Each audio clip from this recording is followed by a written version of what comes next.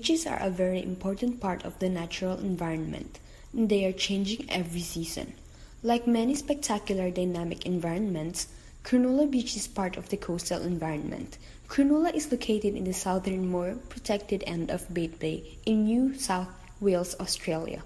On the 11th of December, Cronulla Beach were occupied with swimmers, surfers, walkers, sporting teams, and families. But then,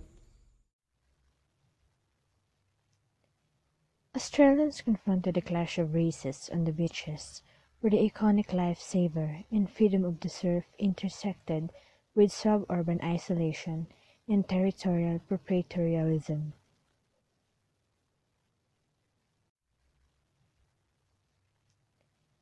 Australians confronted a clash of races on the beaches.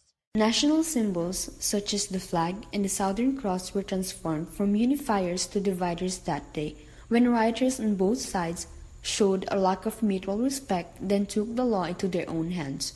For all the Cronulla community's efforts to welcome all Australians to the beach lifestyle, the riots and ensuing race-based generalization made young men and women feel they did not belong to Australia and that Australia did not belong to them.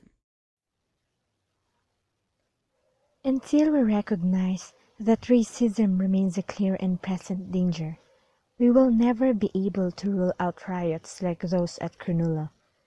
Neither will we be able to reassure the broader community that ignorance is the enemy, not people from different backgrounds. The Cronulla violence was a major shock to the majority of Australians. That calls for peaceful protest could rapidly turn into violence. Likewise, the responses by targeted groups have highlighted the problems confronting those seeking harmonious community relations.